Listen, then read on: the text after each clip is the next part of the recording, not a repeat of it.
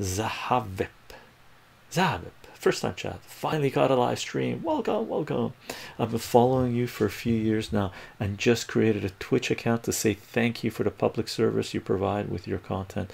I've been more aware of what is going going around in the world politically because of your open discussions and just started making the cure just like you teaching your videos. Again thank you very much for the time you spent doing it. Oh my pleasure my pleasure.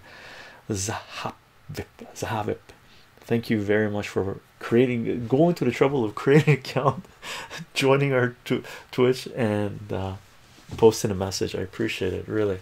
Um, and i do this because i need to do this um, you know it's uh, and, and I've been telling people a long time uh, it's for selfish reasons. I want to I want a better world to live in. Really.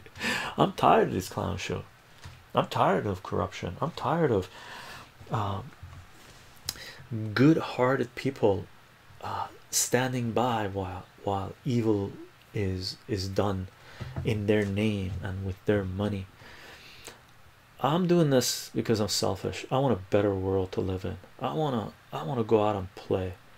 I don't want uh, these clowns in charge. And that is why I do what I do. And I figured that out in 2015 when I got online. I figured this is what I needed to do. Okay because the same clowns are still here right? Or those same clowns. Zahavip no problem. Greetings for Portugal. Portugal greetings greetings.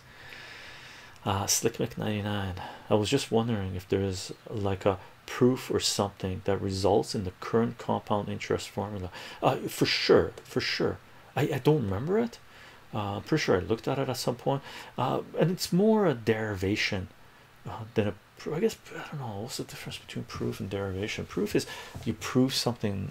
Um, well, no, I'm not going to go there, but it's a derivation, really, right? You model it, exponential growth, compound interest, and stuff like this, and you get your functions and then uh, your graphs and your data, and you model according to the data, and you say, oh, this is compound interest, right?